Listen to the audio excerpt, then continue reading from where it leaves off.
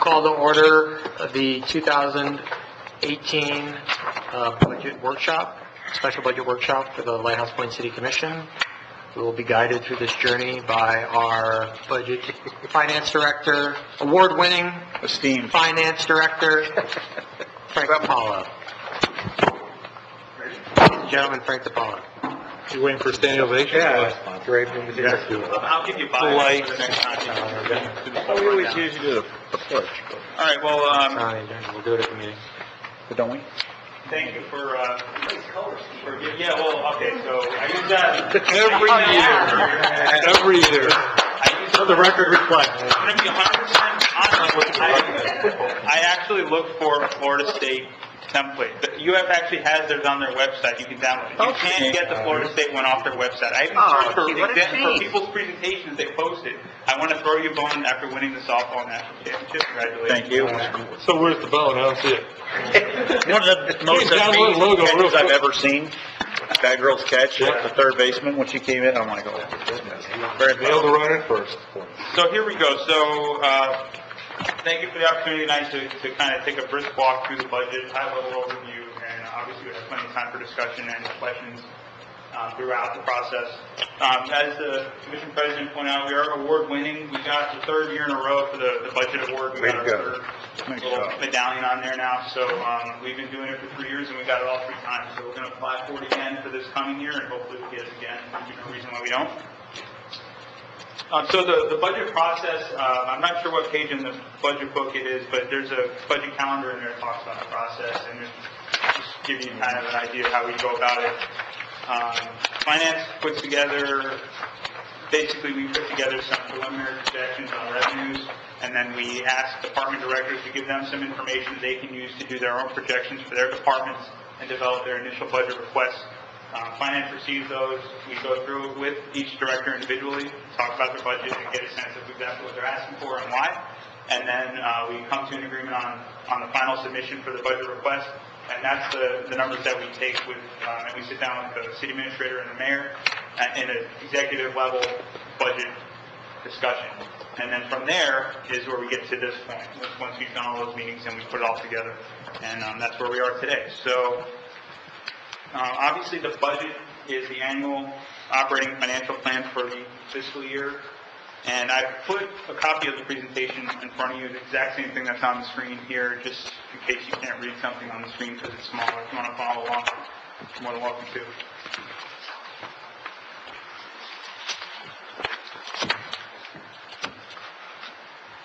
Yeah, it's of hard to see. So the, the city overall, for all five budgeted funds, our budget is now over twenty million dollars. Twenty million, twenty-nine thousand, eight hundred seventeen. A big push to that level was the garbage and trash fund, which we'll talk about in a little bit. As you're aware, was discussed at the last commission meeting that the rates came back a little bit higher than uh, what we had all anticipated, I believe. So there's going to be some talk about that later tonight, but I'll, I'll talk about that briefly also as I go through the budget. The general fund overall increase is four percent compared to the current year projection. Current year includes some one-time things like Hurricane Irma recovery, that's in there, those costs, uh, we're, obviously we're still working on getting reimbursement for that.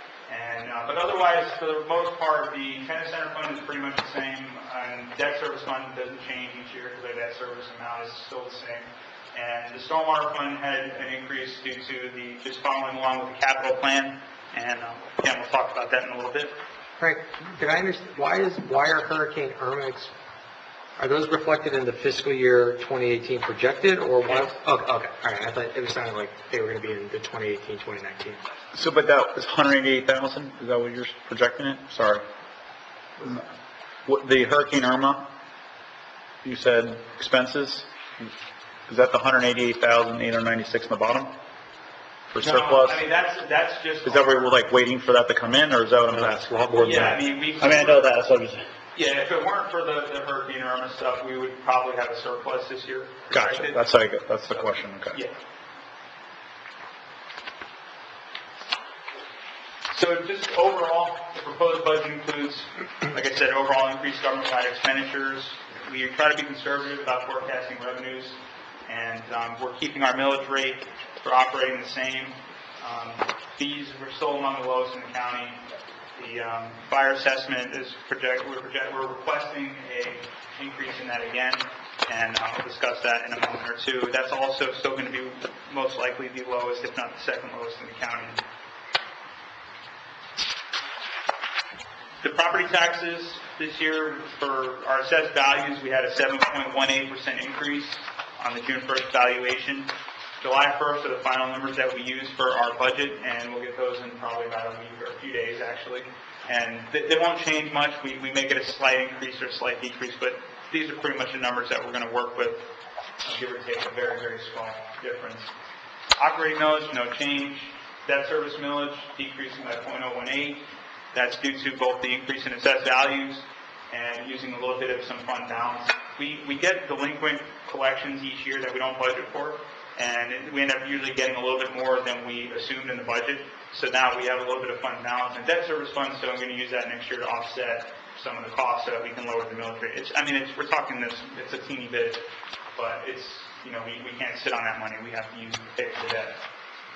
Our assessments, uh, requesting a $15 increase for residential fire assessment, would be $135. It's currently 120. That raises around $100,000 in additional revenue. Stormwater fund, not recommending any change.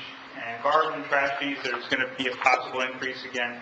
We've gotten a preliminary rate request from Waste Management.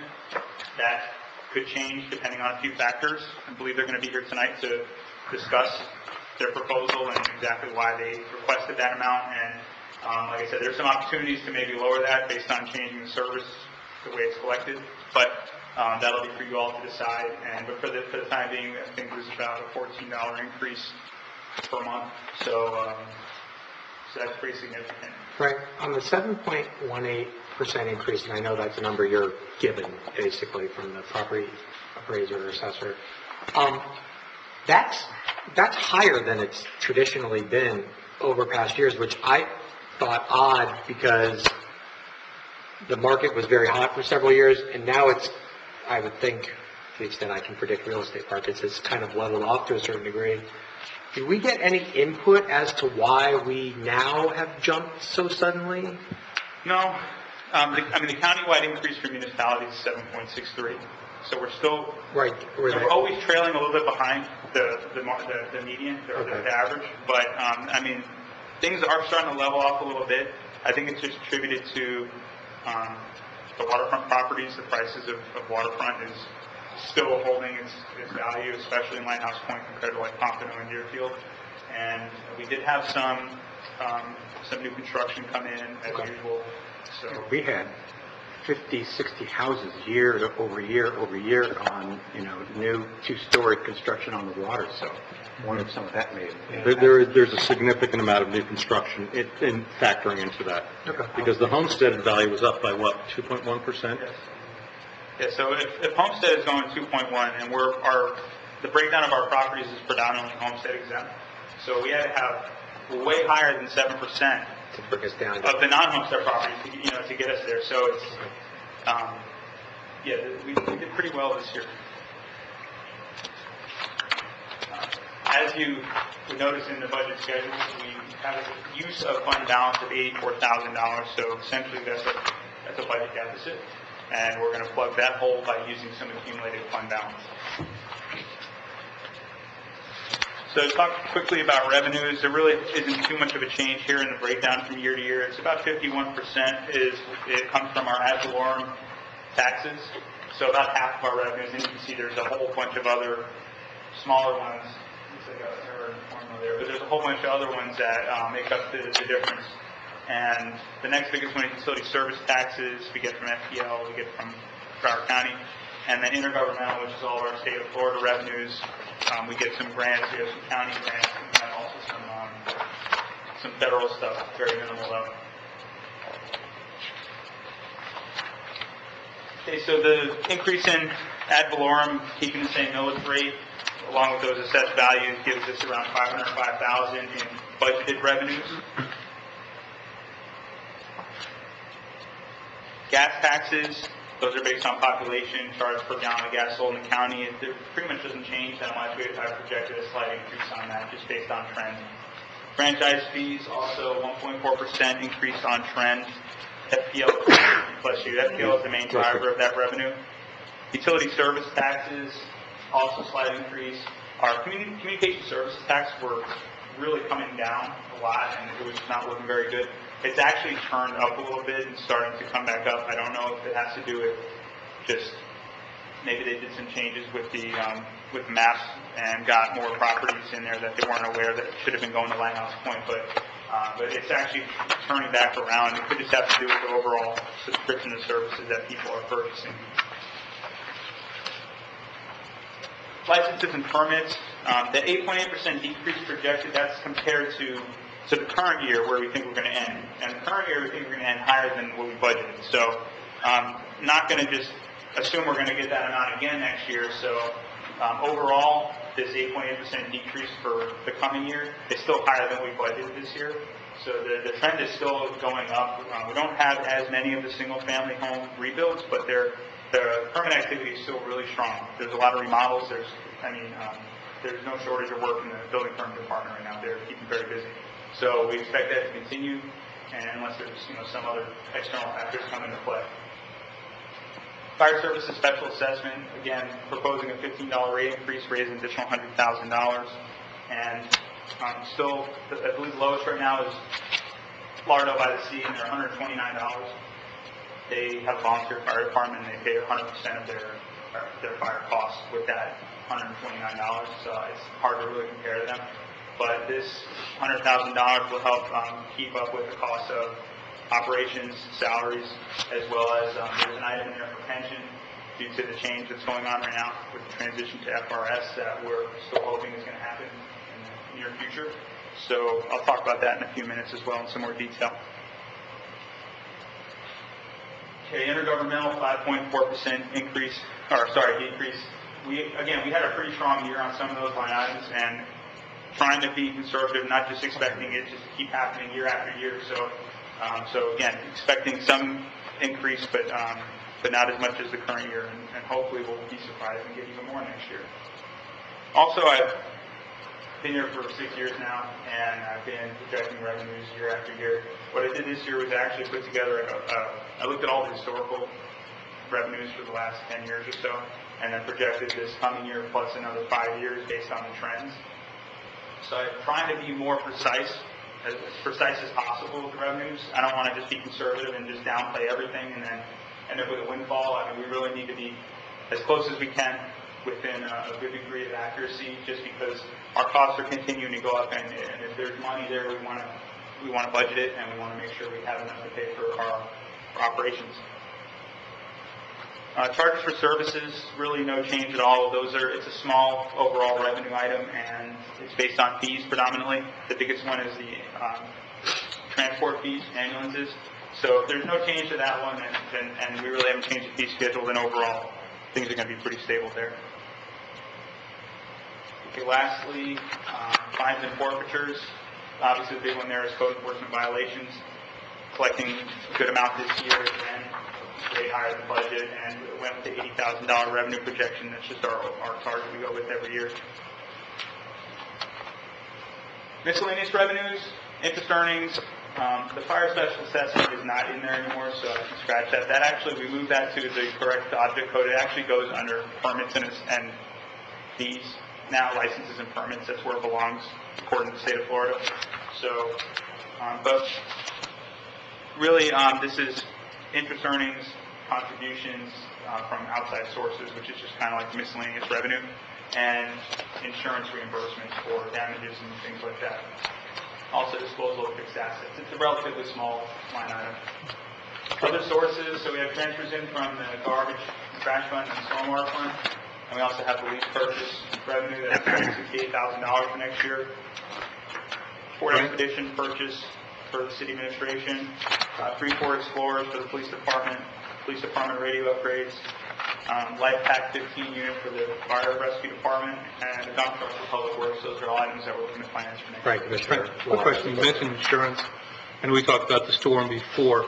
Uh, What, what's our overall expenses, and what have we put in with FEMA? We, we have approximately, it's, What was our outlay?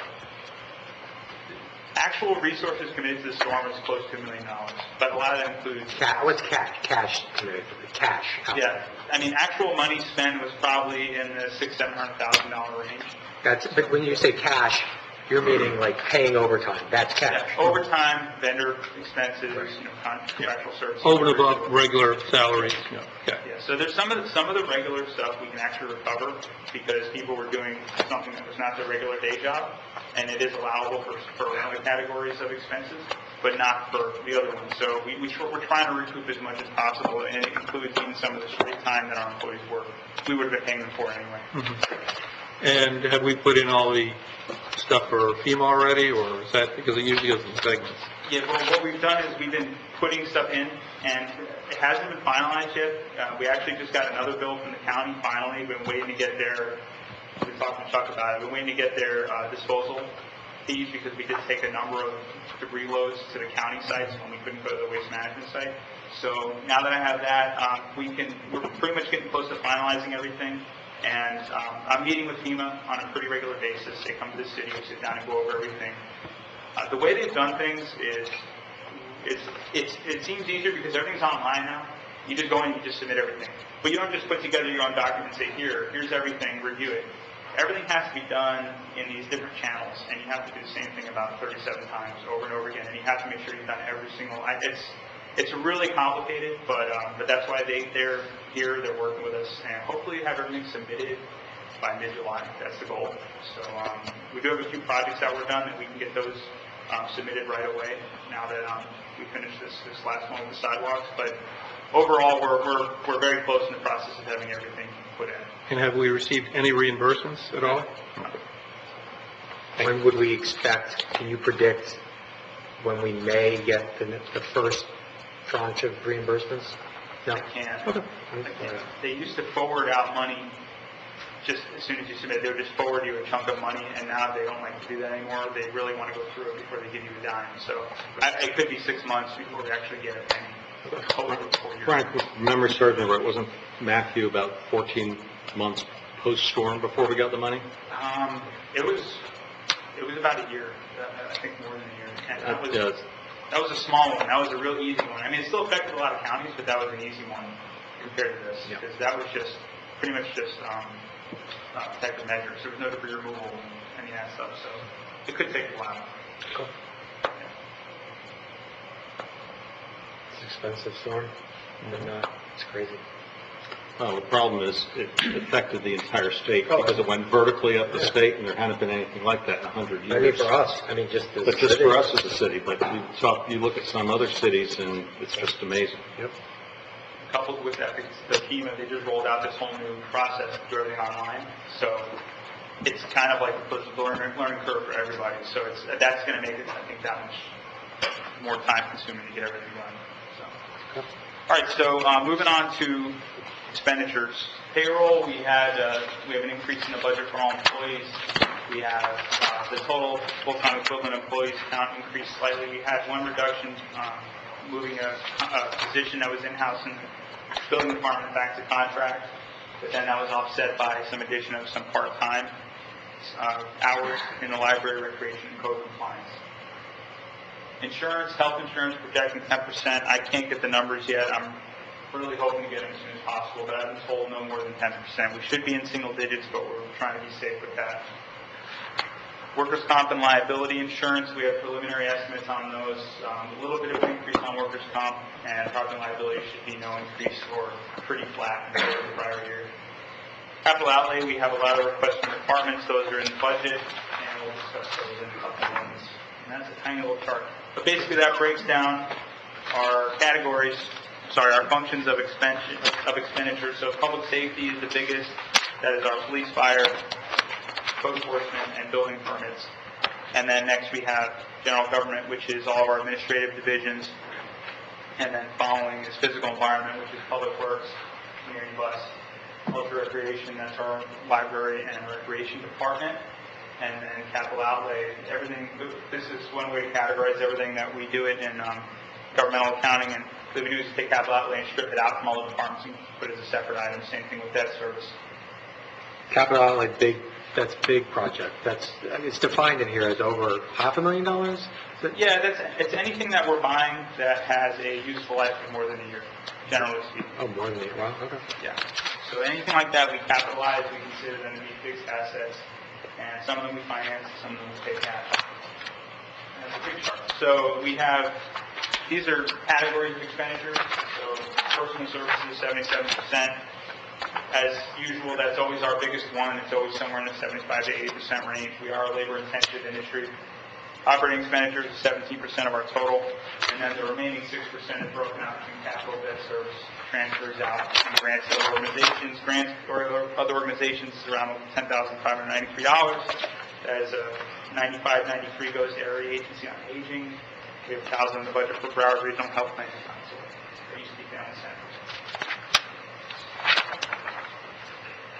And breaking down a little bit further, personal services, we have a seven percent increase, and we have pay increases for employees, we have higher health insurance costs, we have higher retirement contributions. If, um, if you read in the budget message, there's two hundred fifty thousand dollars of funding in there to pay pension costs that could come up. There could likely be a shortfall this coming year based on a number of our employees vacating the current pension plan and moving to the FRS.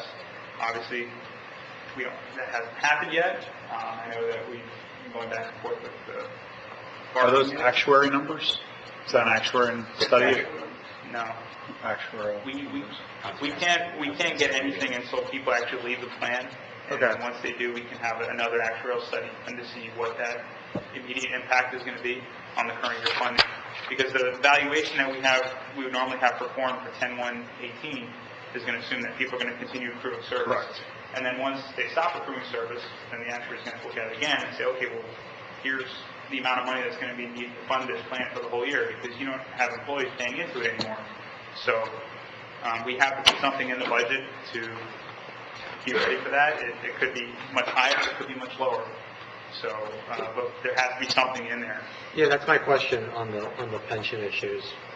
Um, So you're kind of projecting, you're not, you're not so much projecting what the pension will look like, whether it's FRS or, or we stay with the current thing, you're just projecting the number because we don't know what's going to happen? Well, I can tell you that what we've done is assume that all, for the most part, all public safety employees will go to the FRS, and their contribution rate is twenty-four and a half percent, which is higher than our current Okay, contribution rate okay. that we're paying right now. So we've taken that into account in the budget. In addition to that, not only is there regular pay pensionable for overtime, and a bunch of other additional pays are also now pensionable. So, um, so we've already accounted for that in the budget. On top of that, in the current plan, every year that goes by, we're always going to have a funding need, whether, um, bottom line is the city's always going to be on the hook. If there's any shortfall, because let's say we didn't meet our interest rate assumption target for the year on our, on our investment earnings, well, then someone's got to come up with that money to keep the plan whole for the year, because the plan just needs to get a certain amount of money a year to keep it funded on an annual basis.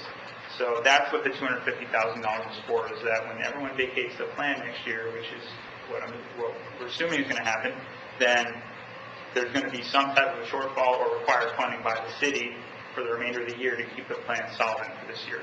Is that in addition to what we may have to contribute in fiscal 2018, 2019 to FRS for our portion? Or is Yes. that- That's, that's, so that's just the downfall to keep, that 250 is the shortfall to keep our pension solvent in this budget? Do you have a To keep it separate number? funded. Keep it funded, sorry, not solvent, thank you. It's very solvent. Um, but is, it- what's the number you're projecting for us to contribute to FRS for 2018, 2019? Give me a moment. Yeah, I'm just curious, since this is new for everybody. I saw you used a percentage, I never actually saw a physical dollar amount. That's what I saw, so. Yeah, I only, I only ever, I only saw a percentage, I never saw a dollar amount. It's one of the, uh, and then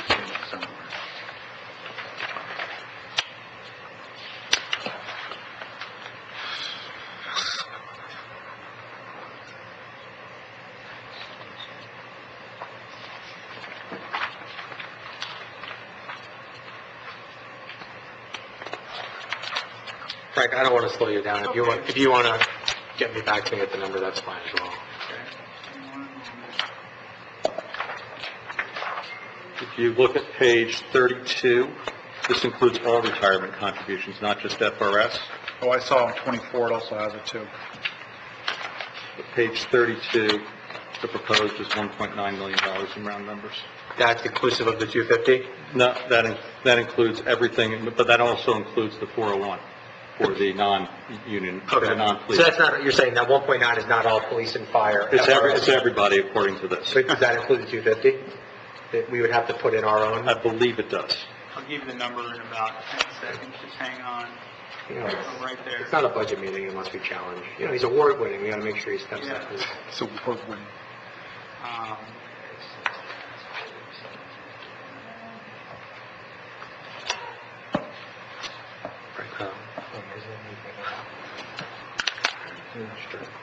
page 32.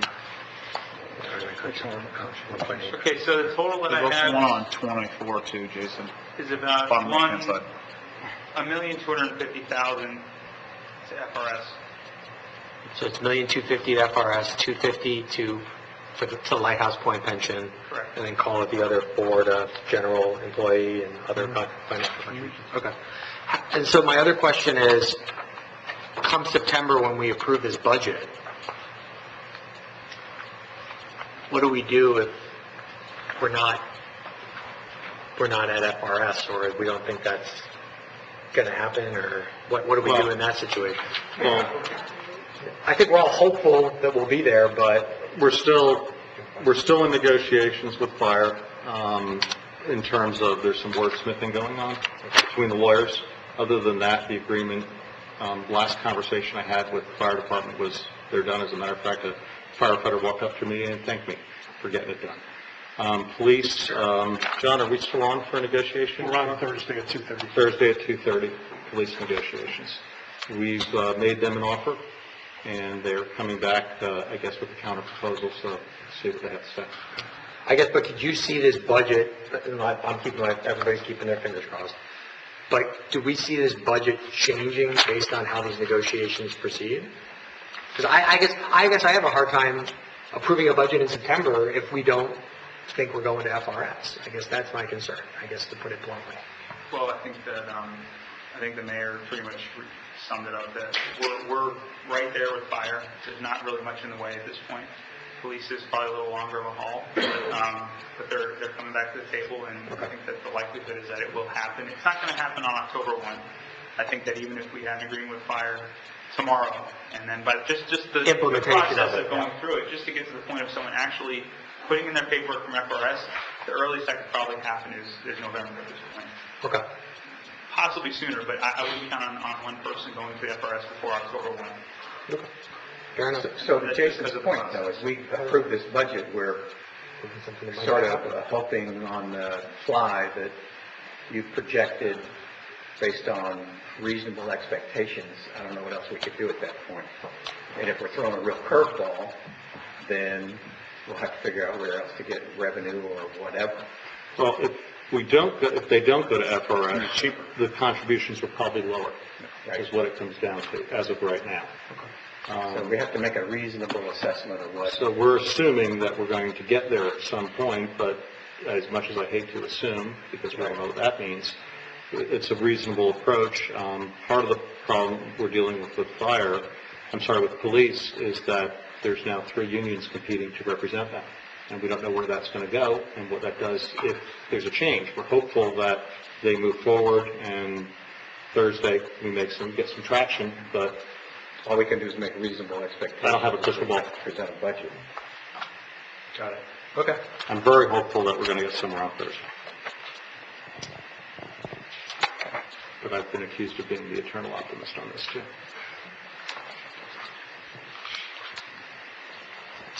Okay, so, moving on to um, overtime, we also had a higher than normal year due to the hurricane. Beginning of the year, we didn't have a whole ton, most of the overtime occurred in September, but we had a good amount that occurred in October that affected this current year. So next year, 18, 19 should project a little bit lower than what we saw this year, even with salary increases and so on. Okay, the question, said it would be lower, but I see seven percent increase, personnel services, and that you assume that overtime will be lower. A little confused, because you said it would be lower, not higher. Overall, personal services are up, but the overtime Will be on lower, its own will be a little bit lower. okay. Operating expenditures, we had a 5.4% increase. Again, we had some stuff in the current year due to Hurricane Irma. So um, if we didn't have that, we might be a little bit higher this coming year, percentage-wise compared to the current year. And we have a, a large item in there for contractual services for a city code rewrite. Saw that 175,000. Yeah, can we pause there? Um, what is that, what is that, what is that based on? And I'm all for, you guys have heard me say, we, the city code needs an upgrade, I'm just curious how you got that estimate. It's just based on an estimate that uh, we spoke to uh, Mike Cirillo, who looked at what other cities have paid recently to rewrite their code. Um, Pompano was about 200,000 a couple, few years ago. Okay. So we had to come up with an estimate, and we felt that was a reasonable starting place. Um, A code rewrite is going to take some time, it may actually last a year, so we may be dealing with this again, but uh, we've got to start somewhere, and well, it was very reasonable based upon what we've seen with other cities, and uh, Mr. Cirillo and his firm will be intimately involved in that project. As will I. I think you just threatened. You, you may be when it comes time to present it to the commission, and we may do a workshop on that before we do any... Yeah, I just, I, I just hadn't heard anything about it, so when I was kept up the other day, I said, oh. Yeah, it, it was high for, I mean, listen, We've been, we've been talking about it. Oh, no, we've been years. talking Quite for honestly, years. when I, when I became mayor, that was one of uh, my initial goals, to get that moved along. Unfortunately, other things came up and got in the way, but uh, now's the time to get it done. all right. Okay. Moving on to capital outlay. It's down 33% from the current year projection. Uh, Current year included some significant items. We had the multi-site surveillance system that actually was budgeted in the prior year, but it didn't kick off until really October, November. So the expenses actually fell into this current fiscal year we're in now. We also had a a number of fire department equipment purchases that were actually in the budget. And I'm going to go over these, um, some of the larger items for next year on the next slide. Debt service is a 20% increase, just based on the financing that's going to take place this current year, which um, I'm going to bring uh, forward on the next commission agenda. And next year's proposed financing, which, as I mentioned, was about $268,000. We have transfers out, $136,206 to the tennis center to keep up with operating needs. It's actually about the same amount as the current year. And we always transfer 10,000 for Keeper's Day, 10,000 for Light House of Glow, and another 4,000 for holiday bridge decorations, to the rec support fund that Becky uses that for those events. Hey Frank, while we're on the topic of debt service, I assume nothing in the fiscal 2018, 2019 budget would be impacted um, with respect to the possible passage of the bond in November because none of the financing would hit, or any borrowing would occur, or anything would happen in fiscal 2018, 2019? I, I don't think so. I think the quickest that we could move is we could possibly have the financing done in March or April, but if we structure it so that we don't have any payments due until the following year, Okay. you know, like November or something like that, which, and we can do that. We ju- we just pay more accrued interest in the meantime, but basically, we would, it would all come into play in the 1920 fiscal year in line with the millage rate increase, you know, for the voted debt. So nothing in this budget contemplates a a bond, a big, the big bond we've been talking about? Nope. What about things like a rendering that we're going to do in advance to promote? You're talking, you're talking about the PowerPoint and all the renderings of the station? Right. That's, that's being paid for this year. Okay. All right.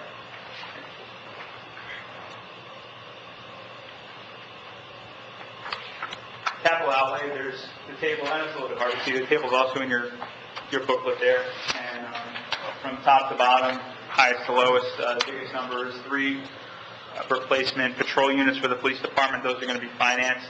I think um, we're replacing a couple of four or five, five-year-old units. Well, we're replacing, we're replacing really old Crown Victorias, old units, but then everything, we replace the oldest ones and everything else steps down. So, um, some really old, costly vehicles will go out of service. Uh, dump truck for public works replaces an existing vehicle. There's a line item for a voice over IP phone system that would replace all phones across the city into one integrated system, which, um, is pretty neat. They have some systems now where you don't, we don't even have to have hardware on the site. All we have is the phones, you plug them into a cable, and all the processing and routing is all done in a data center run by whatever company we contract with. So we, we don't even have to have equipment on site. And you can take that phone anywhere in the world and plug it in, and now you're at work. Anybody calls your work number, it goes to that phone. Yep. It's pretty neat stuff. And, I mean, our system here, I think the police is a little bit better than, than City Hall, but the City Hall system, I joked with the vendor when he was here once, they put a new, uh, card in it, and I said, so what does that bring us up to, like 2001 now? He's like, no, like 2003. Like, okay, so, I mean, even they admit, you know, we have a very old system and, and the time has come. We have a $50,000 item in there, um, just in case there's any hardware, professional services costs in the year.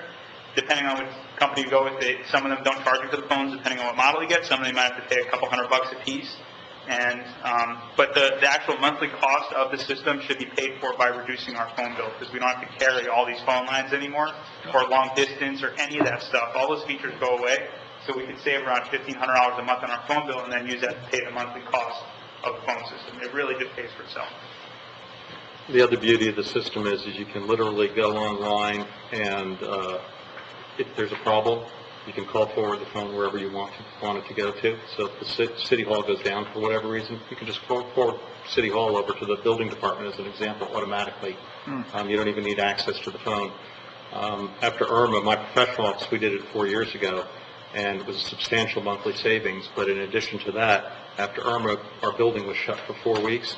I literally brought the phone home, plugged it into my home phone, and I had my office phone up and running. Cool. Okay. And then, um, working downward, a police department has to purchase, they have to pay for the software upgrade for the radios to get them on the newest standards. That's kind of a required thing. And, um, library books and publications, that's a customer request. LIFEPAK 15, uh, I think Chief Donzella had been asking for that before he left, and that's been on there for a couple years, but it hasn't ever really made the cut. So now that one is in there, we're going to finance that as well. Uh, Replacement vehicle for city administrator, tennis center lighting. Um, That number could come down quite a bit when we get someone out there to really see what needs to be done. We've had an estimate done, but um. We're going to add some lighting and replace some lights.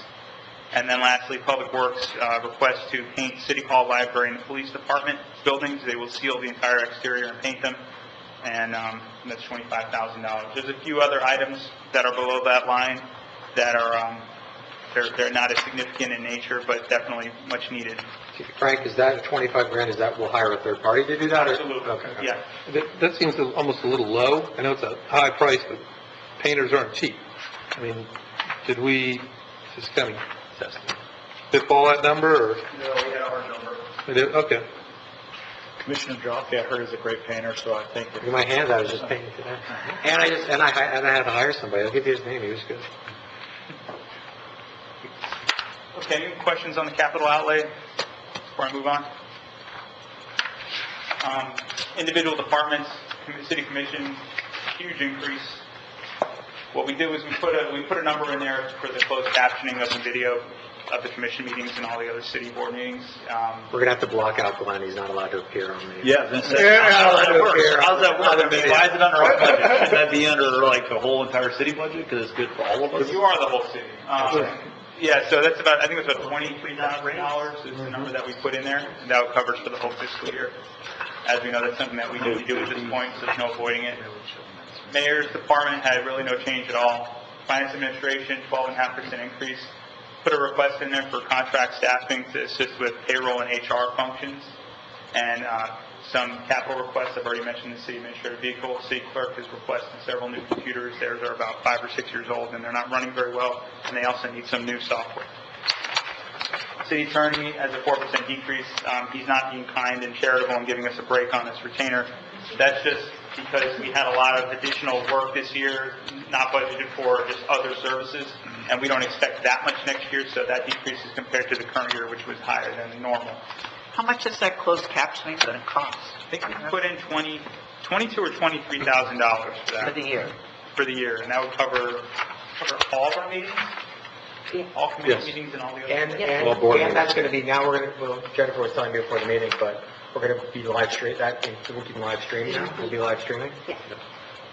What's our total dollar figure for that whole system with this closed captioning? I believe we spent thirty-two thousand on the cameras. I don't recall what the month, what the annual maintenance fees are. It's about thirty-five hundred a year, five thousand a year, something like that. At least. I can't remember. The first five-year cost was over 50,000, as I recall. Mayor, you're correct, it was close to 60,000 for the first five years.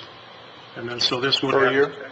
No, No, so- over five, over five years. That was Okay. for the hardware and then, and, and maintaining the system, but it was about 60,000 over five years.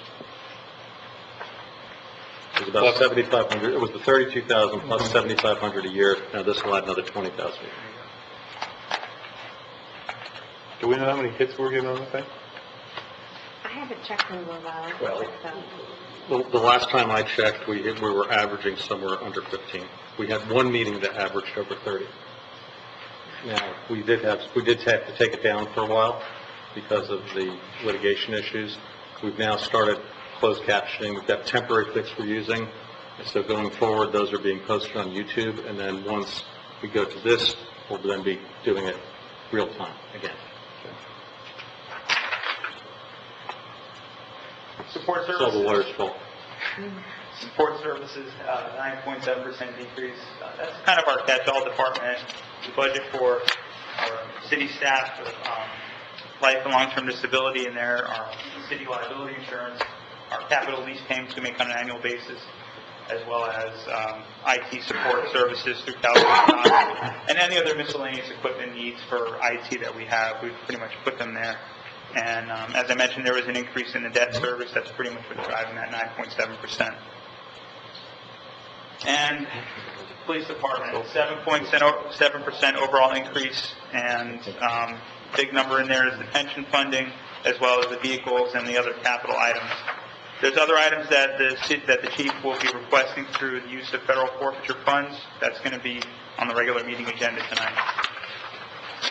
Fire department, it's an overall 2% increase, but 9.8% personal service cost increase. Um, Big thing there is that we had, we really haven't had an assistant fire chief for most of this year, so. Are we hiring them?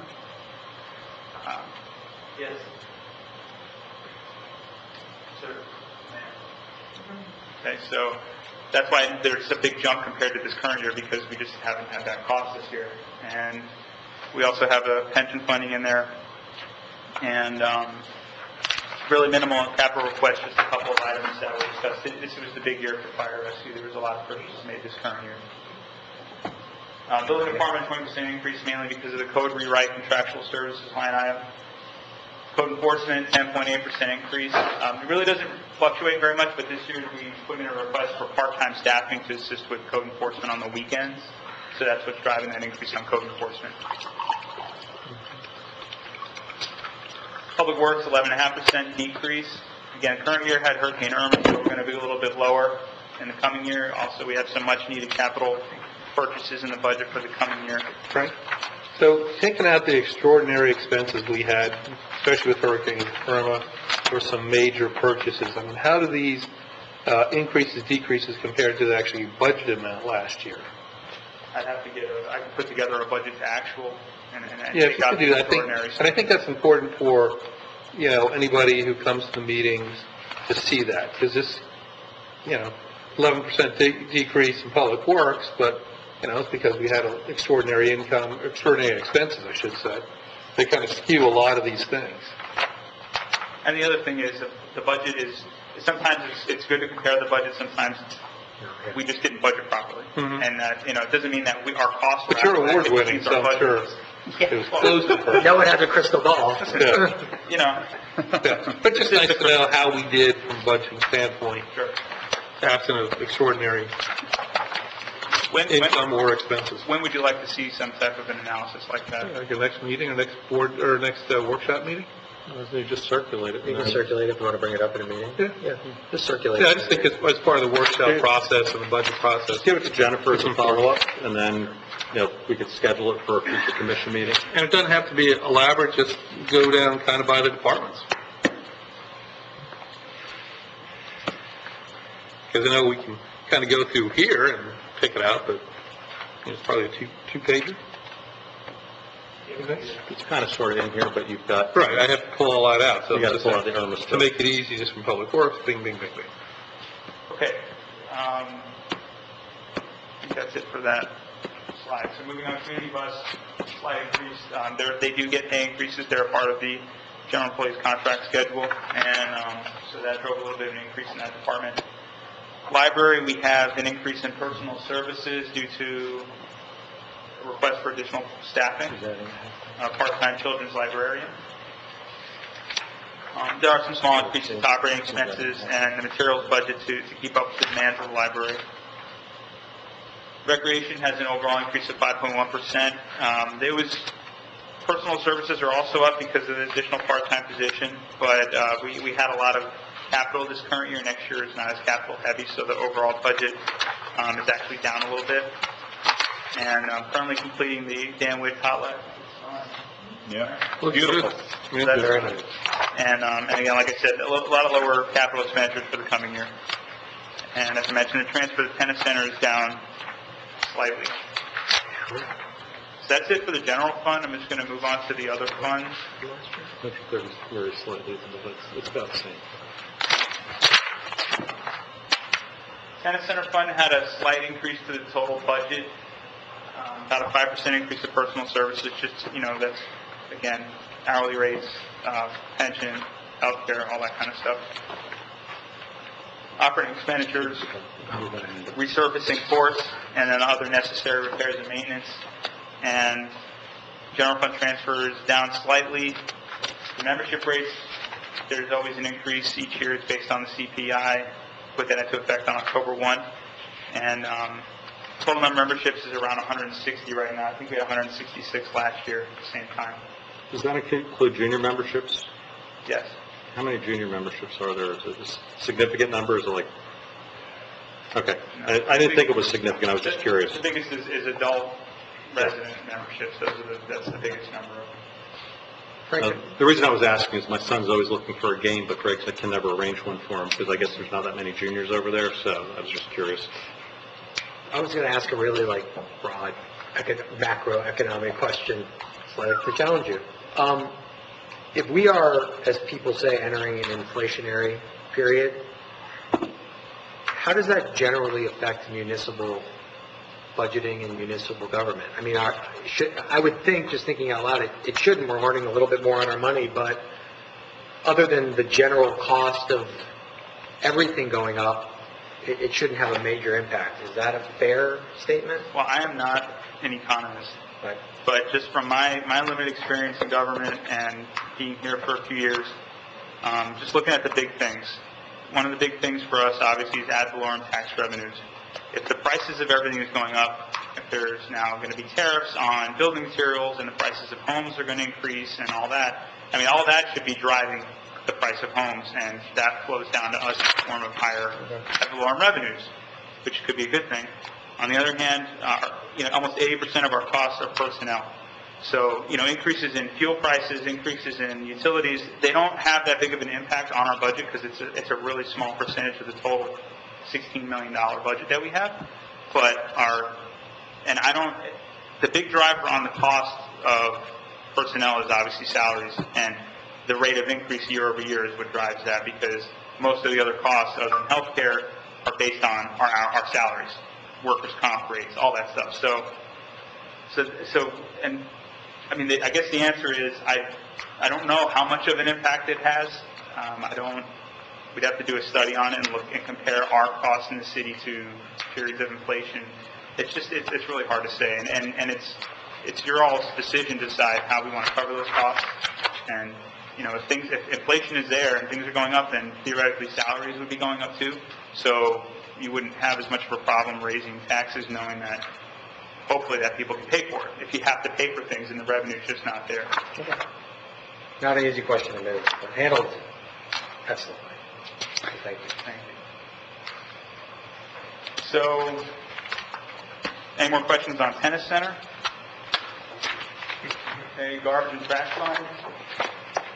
Have a significant budget increase, you know, if the rates we're being charged go up, we have to pass those on to the customers, and we're going to refine that budget once rates are finalized in the, in the next few weeks. Hopefully, we're going to establish them with pretty good confidence on, um, on July 10th. And part of the problem is, it's not really a problem, but it's, it's an, it's an, it's an issue. We have now, we, we bill people through their, through their tax bill, and they can get a four percent discount on their assessment rate. So, the hi, the more we charge them, the higher the dollar amount discount Okay. is.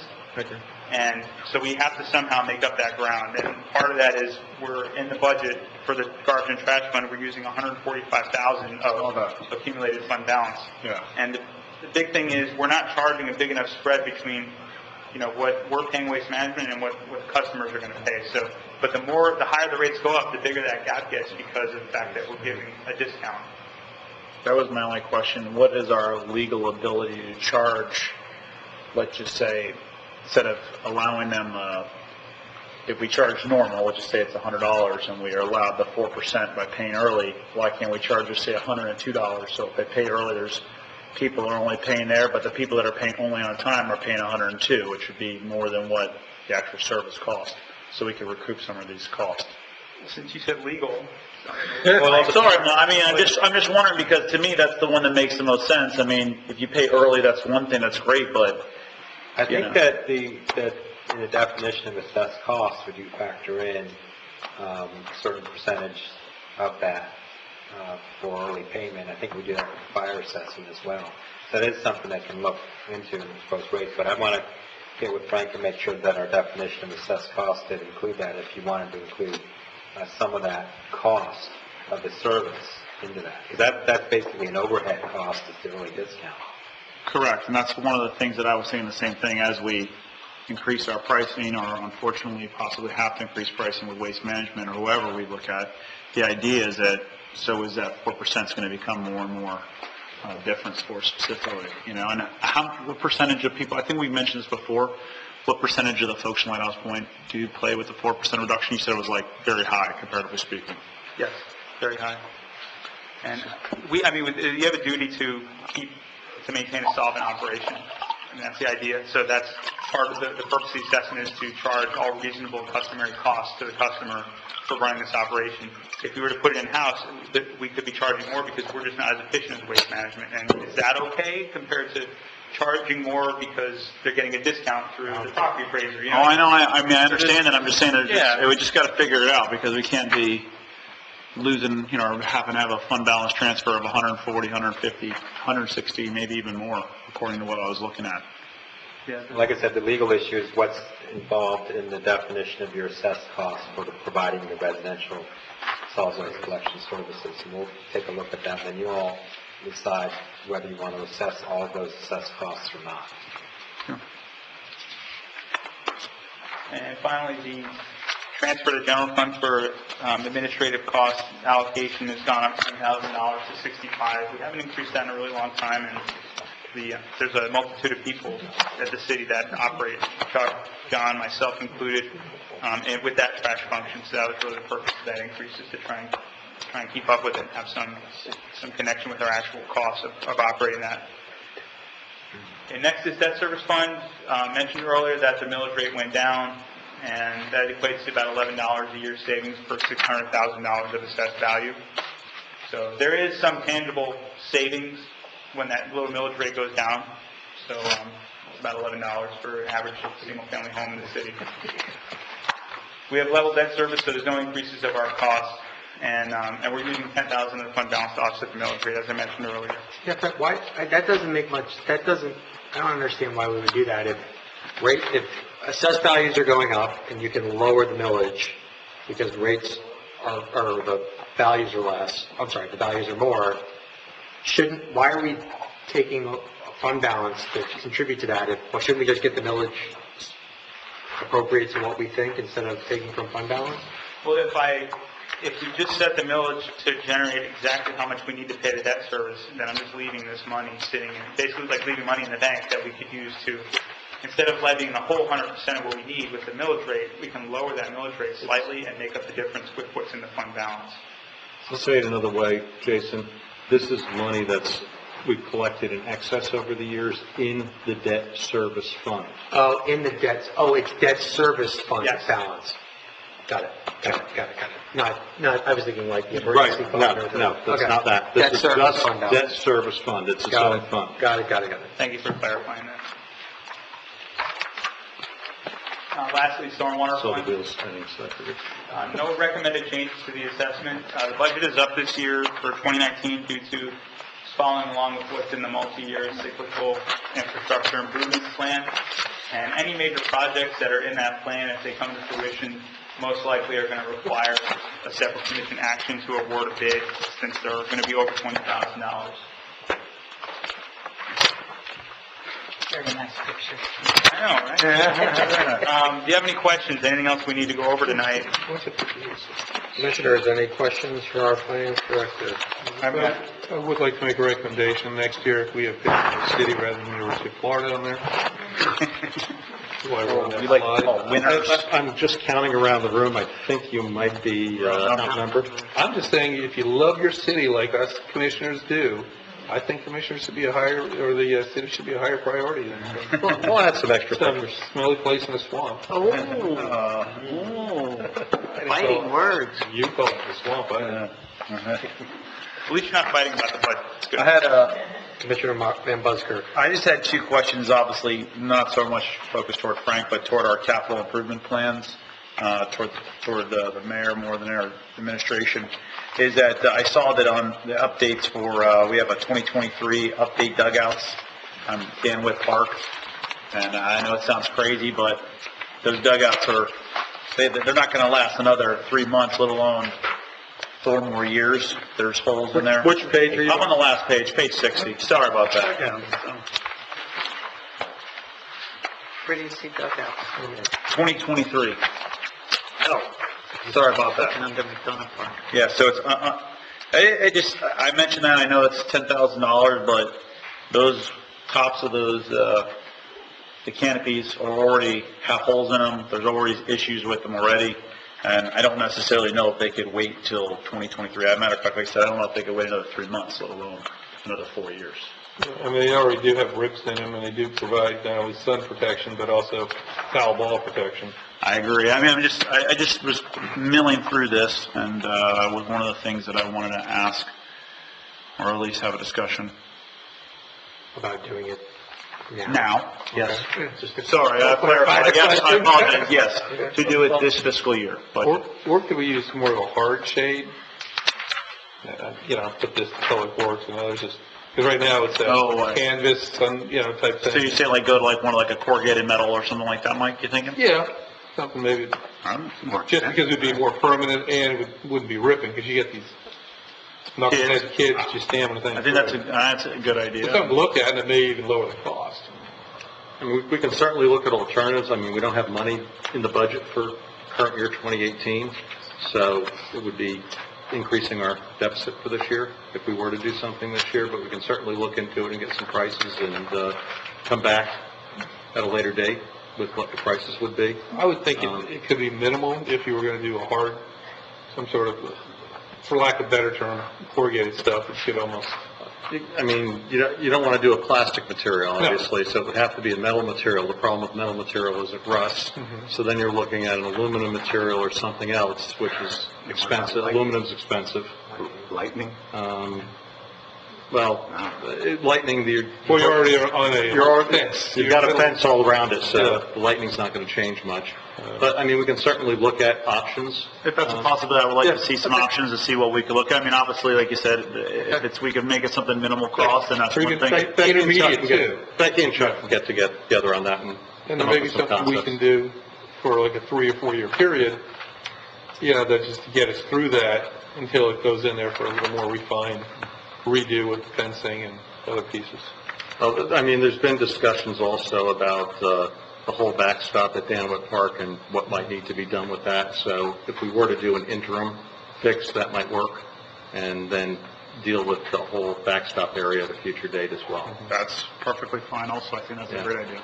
because you got to remember, um, is years ago, everything was pulled out further from the backstop towards the Civitan building, and it got moved back, and part of the reason it got moved back is because in the um, older leagues, we wanted to extend the outfield fence, and the only way to extend the outfield fence was to move home plate back, Right. Other- and it creates a whole other set of issues.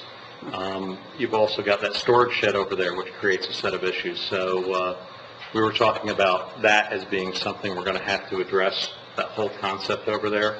So that's a much bigger project. So, you know, we can certainly look at it and uh, come back at a future meeting to discuss it. I don't know that we can do it this year, but we can certainly look at getting it done before baseball season. Okay. And then, uh, one other question is, uh, I was going over the, other infrastructure reports on our roads. I saw that the marina area was obviously gonna be paved in 21. Again, what page are you on? I am on page 58, sorry, I gotta do that better job of that. So page 58, 2021, it says marina area milling and paving. Uh, I know we're doing the reuse water down there. Is that what time we were expecting the reuse to be done? That's when, that's based on the schedule we've gotten from Pompano. Some of that Pompano will actually be doing Right, themselves. okay, I just want, So- right, I was just Yeah. wondering, as, you know, because obviously if they're gonna be coming in there and milling and paving half of it, we're gonna obviously have to do it either different time periods, so. Right. I just was asking about that. Anything else, Commissioner Rutherford? Oh, uh, there's one more thing, hold on there, Commissioner Joffe. And actually, no, we answered that question, so that was, be it for me. Commissioners, any other questions? Back on the paving, I mean, is this as it's set up now with the 2019, 20, et cetera, uh, taking into consideration all the water reuse, in Pompano redoing the full pavement? Or will they continue to do that? Because I know where they, where they really trenched it, they've now repaved, and I think they've done a pretty good job. That's correct. But as they start moving into the side streets, and we'll take mine for example. Um, There was a question, we asked them if they would be able to do in the city right away rather than the street, and they said no, so I'm assuming the street will still be torn up, will they still be paving the entire street now? Since it is a smaller lot. That's to be seen. The, the initial trunk line was full pavement, edge to edge, and mm-hmm. then they went into this Phase 1B where they had some money left and they did a little bit more in the marina, so they continued to do the whole street. So in future meetings, if they ask, I'll say, well, just like you started, let's do the whole street. Okay, and have we got anybody hooked up yet? Last time I saw there was letters going out. It happened yesterday. Actually, I think I added it to my report for this evening. Uh, they did the first connection, I got a confirmation yesterday. And I, then I asked Where is that about- person located? Where is it, where- was that, are they on Lighthouse Drive, I'm assuming somewhere? or- Yeah, it was, uh, 24th Street somewhere. Okay. There's a lot of balls in motion where they have to, the plumber's coordinating the schedule, they have to do the in-home inspection for cross connections, and then they finally go and hook them up, so. yeah, It's the first actually one happening. yesterday. First one's happening. And is there any way we could get maybe an update from the city of Pompano with their new timeline? 'Cause I know they presented us Sure. dozens of them, none of them made sense, but one of where they are today with current funding and where they anticipate moving to. I can tell you the next phase, Phase 2, official Phase 2 is north of uh, Marina Drive, 27th Street. That should finish the north side there. So I'll ask him about an update. Okay, That'll be fine. thank you. Any- Looking forward to, like, classic getting. Anybody else? Any other commissioners, questions? Commissioner Johnson, anything? Any questions? Talk to the guru next time. There you go. Um, real quick, and I think I've asked for something like this before. I, I kind of view our, I know our capital improvement plan isn't a budget, it's kind of a plan. Um, but it does kind of keep us on task with capital expenditures in the city. So Frank, you know, Mike gave you some homework, so what, what I envision and would like to see is in our fiscal 2017, 2018 budget, we had certain items forecasted to be done in 28, the 2018, 2019 fiscal year. You follow me so far? I'd like to see a comparison of what was forecasted to be done in 2018, 2019, in the 2017, 2018 budget, and what we're actually putting in that budget for those capital kind of expenditures. Um, and I think that would just be kind of a, a way we can look at it. There might be a very good reason why something's in the 2017, 2018 budget that didn't make it into the actual 2018, 2019 budget, but just to see it, kind of just give us, uh, make sure we're staying on task on some of the capital items. So, so just to make sure I'm on the same page, so you'd like to see, last year, this time of year, we said in 2018, 19, we're going to be doing all these things Capital, from a capital improvement in in standpoint. that infrastructure plan. Correct. And you want to know now, What what made it we into think the... we're going to do one year from now, which is... No, no, I want to know what What we're actually budgeting to do this year, in 2018, 2019. Exactly, yeah, so... Just the matchup of it, and, Yep. and there may be reasons why we Right. didn't do it, Yeah, maybe but- don't need it anymore. Exactly. you know, But just to Hurricane blew it it away, yep. That would be helpful for me, because that is, infrastructure projects are important. Everybody would agree with that. It's a pretty obvious statement, and just to see what's being done and what we forecast. Hopefully $16 million will be going to that soon. That's right, hopefully. All right. Anything else, commissioners, or shall we adjourn? One- oh, sorry, Commissioner Monger? just an update, if you would, on where we are in this lawsuit with the county on the bridge repair and all of that stuff. Is that something that's been... Can we do, can we do that at the commission meeting? Yeah, that's fine. I didn't know if it was a budgeted issue or not, since it's $300,000 expense. Big number, yeah. Okay, so we'll, uh, we'll adjourn, unless you have any other questions. Adjourn. Great job, Frank. No matter what Joffrey says, I think you did a good job. I still think we need to get rid of the University of Florida. I think I've said that so many years. You've